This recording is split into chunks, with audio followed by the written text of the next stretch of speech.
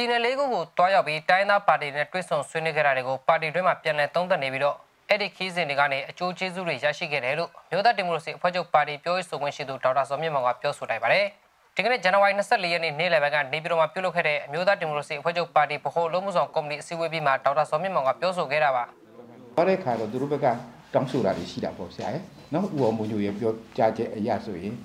အဲဘယ်နေရာတွေဘာတွေလိုချင်လဲဆိုတော့ဒါတွေကလည်းကျွန်တော်ပြောလို့မကောင်းဘူးလေနော်အဲ့ဒါမျိုးတွေရှိတယ် ဒါပေမဲ့အောင်မြင်တာနှစ်ခုပေါ့နော်ကချင်နဲ့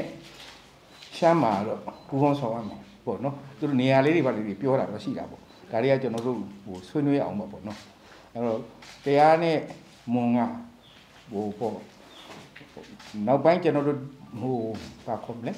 အဲဒီကိစ္စတွေပြီးသွားလိုက်တဲ့ခါကျတော့ဒီကိဒီຢာနဲ့ပတ်သက်ပြီးတော့သူတို့ဘက်ကလည်းဒီလိုဖြတ်ရတာတွေစိတ်မကောင်းဘူးဆိုတဲ့အကြောင်းတွေပါလေကျွန်တော်စီမှာစာရအောင်အဲတော့ရေပေါ်ရချုပ်ပြောကြရလို့ရှင်တော့သုံးသက်ချက်ကတော့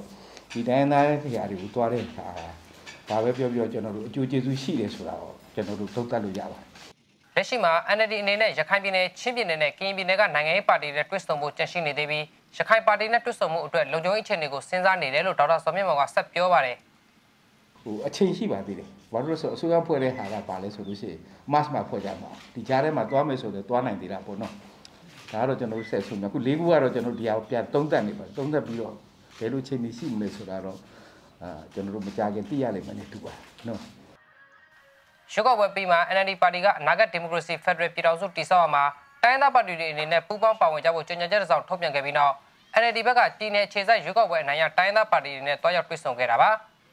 NLD အနေနဲ့ကချင်ပြည်နယ်မွန်ပြည်နယ်ကယားပြည်နယ်ရှမ်းပြည်နယ်ကိုတွားရောက်ခဲ့ပြီးမွန်ပြည်နယ်နဲ့ကယားပြည်နယ်မှာတွေ့ဆုံတဲ့နေရာအဆင်မပြေလို့မတွေ့ပြပေမဲ့ကချင်ပြည်နယ်နဲ့ရှမ်းပြည်နယ်ခီးစဉ်ကတော့အောင်မြင်မှုရခဲ့တယ်လို့ NLD ဘက်ကပြောဆိုထားပါတယ်ခင်ဗျာ။